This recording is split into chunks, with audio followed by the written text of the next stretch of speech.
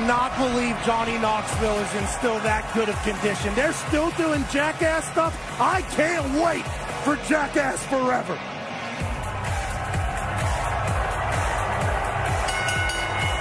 The following contest is a championship contenders match. Making her way to the ring, she is the SmackDown Women's Champion, I cannot wait for this match. Charlotte Flair calls herself the opportunity, and what an opportunity she's providing for Toni Storm tonight.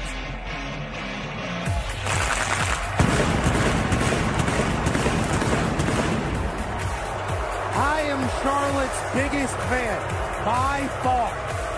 But what Toni did was earn this opportunity by walking out here and snatching it numerous times.